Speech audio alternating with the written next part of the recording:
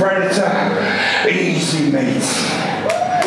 And the, the general sort of underlying theme is about human beings. It's actually about treating human beings as human beings and not as fucking commodities or in terms of their fucking profitability. Human beings as we'd expect to be fucking treated.